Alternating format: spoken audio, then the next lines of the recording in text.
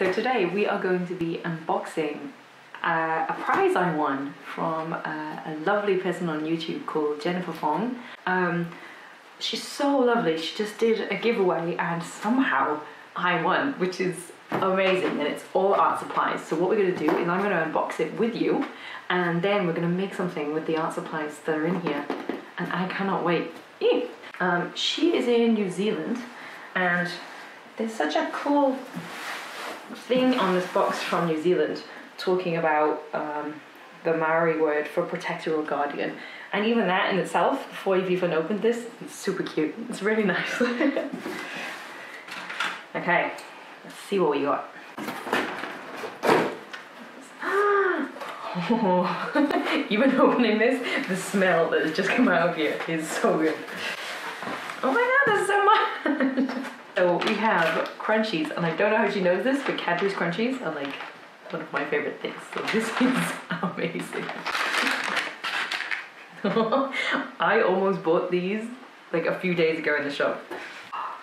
Look how pretty those colors are. okay, this is amazing. I thought I was getting art supplies. This is chocolate. Sour. Oh, okay, okay. So these are, I'm gonna say this wrong. I know I am. Fijoa? Fijoa? It's that word there. I only just discovered this word the other day and uh, it's a type of uh, fruit that's from this part of the world and I love sour things as well so this ooh I'm really excited to try these maybe I will um, maybe I will take a bit of a leaf from Kasey Golden's YouTube channel I don't know if you ever watch her YouTube channel she unboxes these uh, Tokyo treat boxes and then she does art theme to them so maybe I'll like combine and do like an art haul and the drawings on the sweets and chocolates that are in here. Yeah, let's do that. Well, I'm gonna do one of these tonight. this is so exciting. I really, I, thought that the prize of art was enough, but this is so cool. Look how cute these are. oh, see, this is why I love the art community online. I think everybody is so friendly.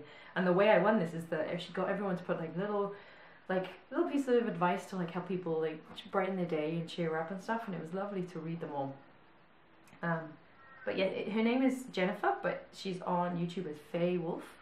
Like I say, I'll put it all down at the bottom.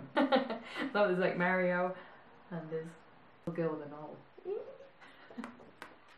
wow, I'm spoiled. This is completely spoiled. Okay, I think this is. This is. So I kind of know the supplies are in here because she mentioned them when uh, I entered the giveaway. But this is, I think this is some really nice, yeah, this is some of the really nice uh, different types of watercolor paper. And I know nothing about watercolors, especially watercolor paper.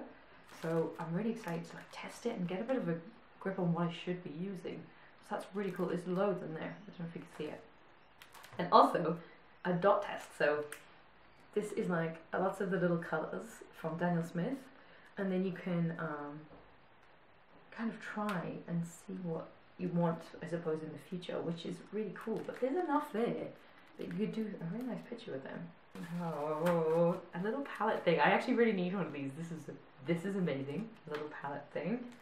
Palette thing, the official name, the nice official name.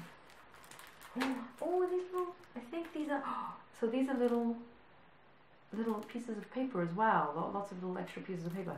This is perfect because yeah, I really do need to test our paper and I can do some little things. Maybe I'll do, I'm going to do a little one and send it back to her to say thank you for all of this. Newton brushes. Oh, amazing. These are the exact size of brushes I need as well. I don't know if you can see them in there. There's like like a flat one, a round one, and a filbert. Okay, so this this is like it's almost almost also ugh, if I can speak too excited. This is like a meme online, this book. Like every artist used this and it's so magical. I recently ordered one um, all the way from America and I'm in love with it. So I'm definitely a convert. It's soft paper, but you it's really good for watercoloring. But I'm not a huge fan of the, the like bumpier one. So this is perfect and it's really good for markers and everything. And this is the best size. Look at that. It's like not quite A5, but it's just, it's not as big as an A4. ah, that's right, I just smelled the paper. paper, chocolates, watercolors, face masks. Why not just got like a little hook underneath so I can like put, put your it? Okay, so this is the colours that are in here. It's like a huge variety of colours that I'm really excited to work on. Especially that neutral mix. Look at that neutral mix. It's like a, an amazing, can't really see it on here, but it's like a purpley, a grey, again, there's, oh, and an orange. Really been looking for like a deep yellowy orange. And now, okay, okay, I like them all. I'm not just going to sit here telling you how much I like all of these. I like them all. Ooh. Oh, it's so cute. Look how cute and little it is. Oh, okay, so it's melted the tiniest bit because Australia is always boiling. But they've travelled actually really well. Like so there is the palette. And they've come in their own little pans. Oh, I'm so excited for this.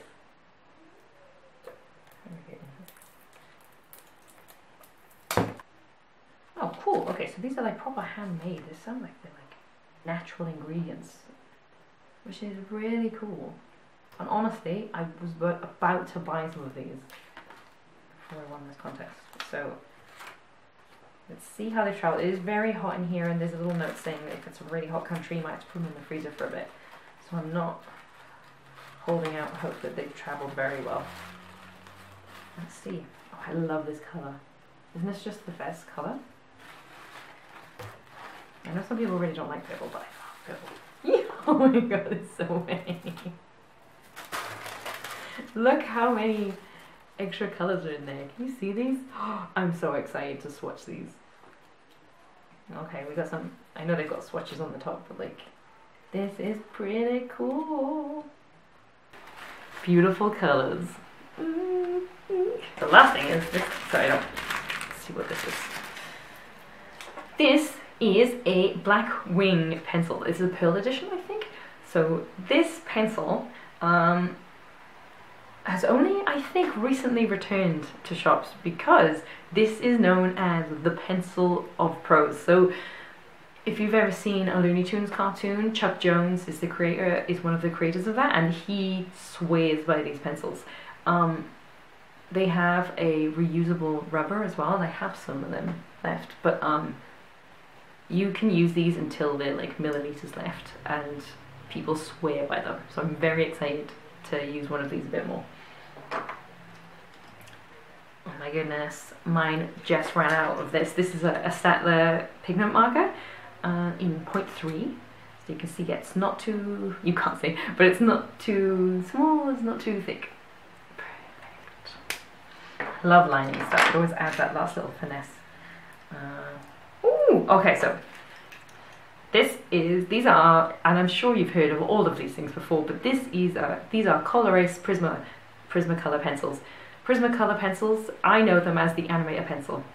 You've actually given me perfect animation supplies here, so I wonder if you are into animation too. Um, this one doesn't show up on a scanner. The blue is like a light enough thing that you can draw it and it won't come on the scanner. And this Carmine Red is one of the most popular drawing pencils for animators. So excited. I love these. And they're erasable. So um, my rubbers on these always disappear very quickly. I'm so excited. Ooh, okay, I've never used one of these. This is a Faber-Castell eraser. Um, I'm imagining this is good because Faber-Castell are very good and everything else here has been amazing. So I'm assuming this will be very good too. okay, and the last two things. This one is a hybrid gel grip. Ooh, I haven't tried this one. I've struggled a lot to find good white gel pens to go over like when I do markers and stuff. So I'm really excited to try this one and see how this one comes out. So thank you, that's really cool. And last one, and this is, oh my goodness. Oh wow, it's a fountain pen. I haven't used fountain pens since I was like, like a, a baby. Not a baby, since I was in school because they, they made us use fountain markers and, and they always felt so fancy and like cool. So you, this is the ink cartridge and you like stick it in there and you can do like really nice calligraphy with it. I'm not to do it yet. I'll wait until I'm about to start drawing. Let's take the lid off. And then you've got, then you've got like, can you see this? Like the sharp, the sharp fountain marker. This is gonna be fun. I've been really interested lately on what it would be like draw with like a traditional ink marker. Wow. Wow, wow, wow. There is so much stuff that it's taken over my whole desk. Okay, so the plan. The plan is I am going to use some of these supplies as a idea base and then I am going to use all of the actual art supplies to do some drawings and paintings. And we can see what we can come up with. So let's go. Okay, so we have all of these lovely art supplies um, ready to use. Um, and I'm going, oh, and we have some extra ones. Ooh, look how beautiful this color is, it's so nice. So these are the supplies we're going to be using today. Um, I have this amazing sketchbook that I got in this art haul too, but I'm going to save this because I only just started one of these. And instead I'm going to use all of this fantastic paper that um, came in the box because I'm excited to experiment. So I'm going to do one based on one of these face masks and then I'm going to create another three characters based on a mix of these different delicious New Zealand treats. I'm not sure which one yet, definitely these little ones because I love the green um, and I love the colours on this one so I think I'm going to concentrate on these. In fact, this is my like probably one of my most favourite sweets as I said earlier but the colours are quite just gold and white, so I might not use that one. And instead, I love the idea of this pear and honey, this like plum and purple and almond, which is quite cool. So I'm thinking one, two, um, and I love crunchies, but I think one, two, sour, sour crocodile drawing, and maybe one based off one of these face masks. So yeah, let's get to it. Okay, so I have all of this paper here, and Jennifer, be in her beautiful handwriting, has written what they all are. Now, I'm to be honest, I know nothing about watercolor paper. Okay, so we should try these. We try these treats first. Whoop. I'm still unsure how you say this. Feijoa is what I'm to go with. I know I should know how to say that. Ooh, ooh. Well, they smell really, um, not what I, like minty almost. Okay, so they are delicious. Sorry for my awful nails, but they are amazing. I absolutely love them. It's weird. They're like really like limey and fruity, but at the same time they've got like this minty aftertaste is the best way I can describe it. I know that sounds like crazy talk, but that's what they taste like. Okay, what I've decided I'm going to do is kind of a girl in a crocodile inspired dress because I love this shape and I think that would make a really cool like blooming skirt.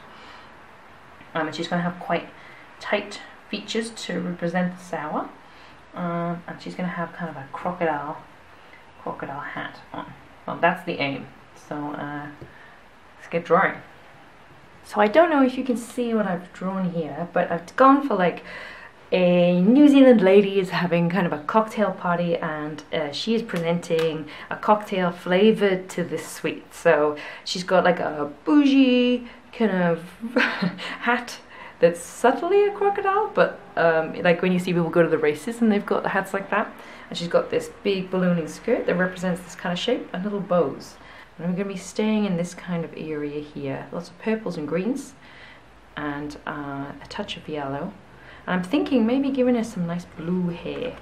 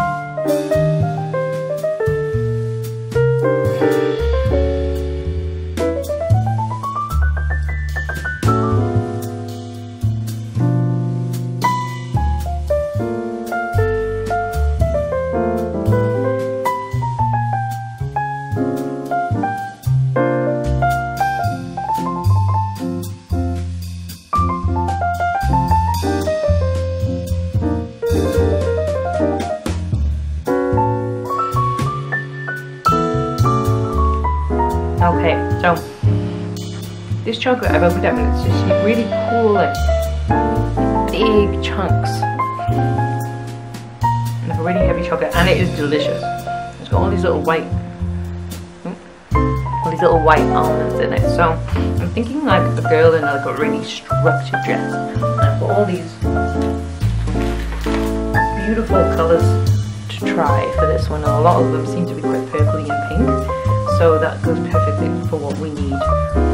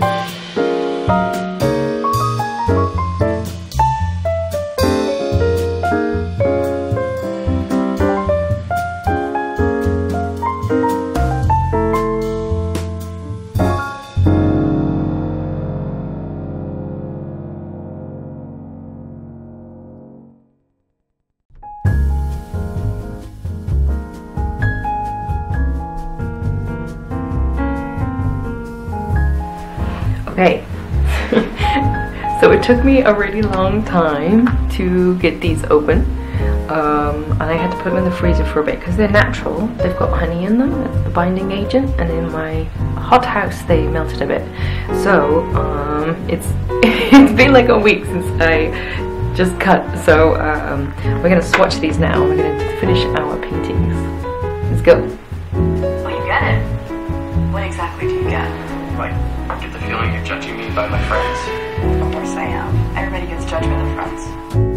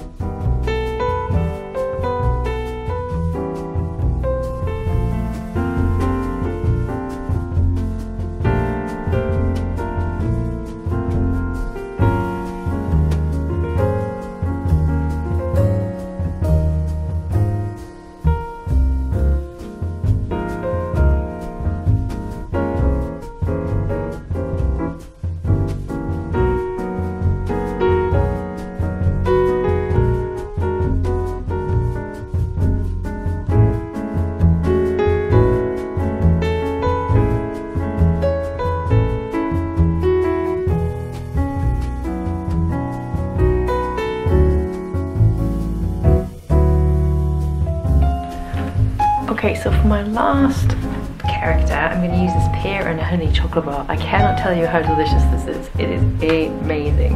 And I'm also going to use a bit of influence from one of these face masks. Uh, this one is green and we've already done a green drawing, so go, go with this, this pinky combination of these two.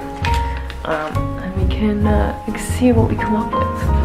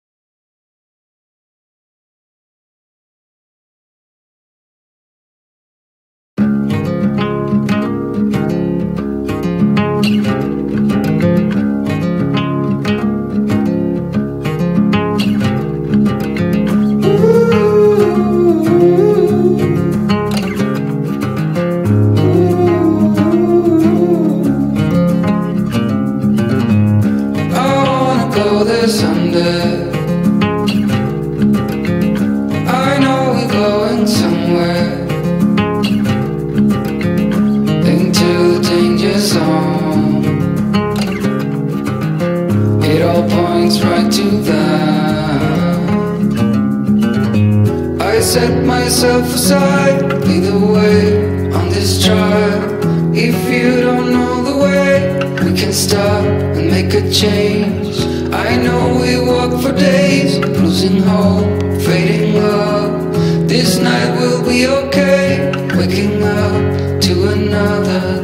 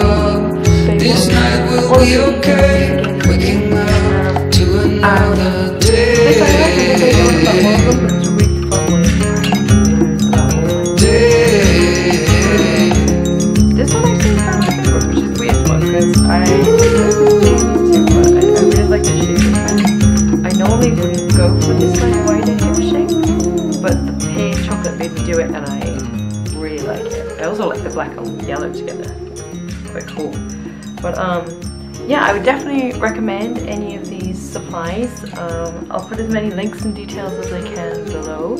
Um, I would definitely recommend this delicious chocolate if you can get hold of any. But um, I hope you all have a fantastic week and